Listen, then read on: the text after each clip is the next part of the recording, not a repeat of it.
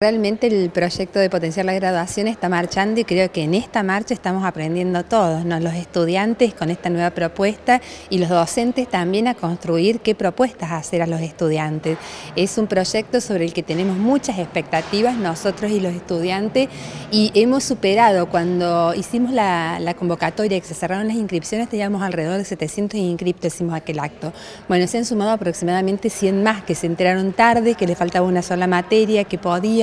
y bueno, así que estamos en todo este proceso de que se están incorporando, están haciendo el plan de trabajo y se han incorporado a cursar alguna de las asignaturas. Creemos que en sí hay una gran variedad de situaciones a partir de las distintas propuestas educativas desde las distintas facultades y que bueno, los coordinadores de cada una de las carreras están haciendo grandes esfuerzos y se los agradecemos muchísimo porque son los que están coordinando los estudiantes con los docentes de aquellas materias que les faltan para, para hacer factible, ¿no es cierto?, que puedan finalizar. Así que bueno, en ese proceso está actualmente. Lo que sí hemos avanzado muy mucho es en todo lo que son los requisitos para reingresar a la universidad, como son los estudios de salud, el Centro de Salud ha colaborado mucho eh, y sigue colaborando porque antes de una tarea esta bastante importante, cosa que estamos sumamente agradecidos y también estamos muy agradecidos con los eh, registros de alumnos que también, ¿no es cierto?, han reinscripto en esta época a estos estudiantes y las facultades y los consejos directivos que han facilitado ¿no? estas inscripciones.